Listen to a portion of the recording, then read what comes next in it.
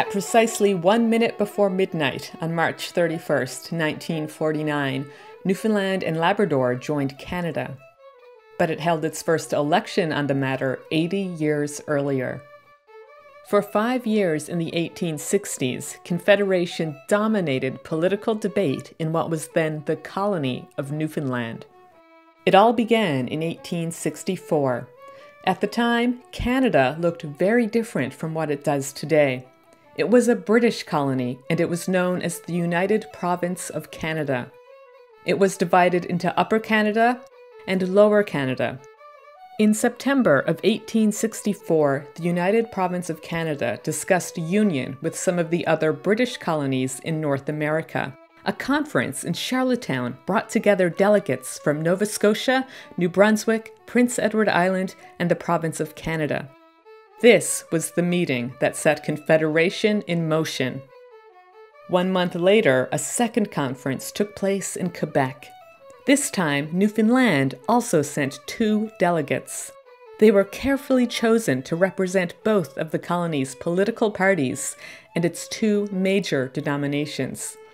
Frederick Carter was there to represent the colony's governing Conservative Party and its Protestant population. Joining him was Ambrose Shea, leader of the Liberal opposition and a member of the Catholic faith.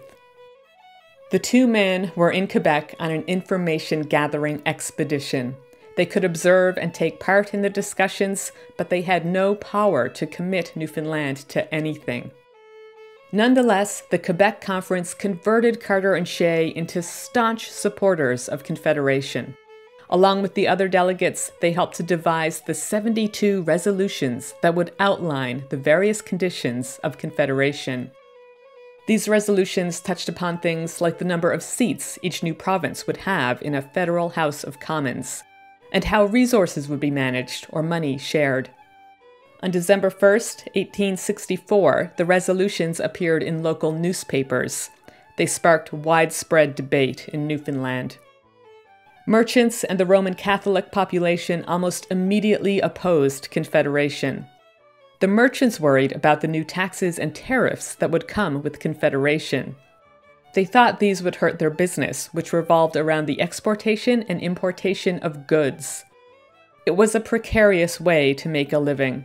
Prices could fluctuate dramatically on the world market, and they were influenced by all kinds of uncontrollable factors like war, foreign politics, and even the weather. To remain profitable, Newfoundland merchants had to be free to buy and sell goods where they wanted and for the best price they could get. Joining Canada could take away their flexibility because of a federal tariff. Goods bought from other Canadian provinces would be cheaper, but the tariff would make anything imported from other countries more expensive. This was bad news for Newfoundland merchants. They did most of their business outside of British North America. The mainland provinces only took about 5% of the colony's exports and provided about 16% of its imports. The Roman Catholic community was also suspicious of Confederation. A majority of Catholics in Newfoundland were of Irish descent. They argued that Ireland's union with England in the year 1800 had resulted in nothing but trouble. Why should the same mistake be repeated on this side of the Atlantic Ocean? Another concern was the denominational school system. Would it be dismantled after Confederation? The anti Confederate arguments struck a chord with the public. In contrast, the proponents of Confederation struggled to connect with the people. They said that joining the new Dominion of Canada would lead to better public services and a stronger, more stable economy. As part of a great new dominion, Newfoundland would become less isolated and would hold greater appeal to wealthy business people willing to invest in mining and forest operations that could diversify the economy. These arguments seemed vague, and they failed to rally any strong support opposition to Confederation remained so strong that the governing Conservatives decided against asking the House of Assembly to vote on the Quebec resolutions in the 1865 session. That same year, there was a change in the government. In April of 1865, Sir Hugh Hoyles resigned as Prime Minister to become Chief Justice of the Newfoundland Supreme Court. Frederick Carter replaced Hoyles as leader of the Conservatives, and he led his party to victory in a general election that November. Carter remained devoted to Confederation, but he promised to let the people decide whether or not to join Canada in the next general election. That was scheduled for 1869. In the meantime, the province of Canada continued to work towards confederation with the maritime colonies.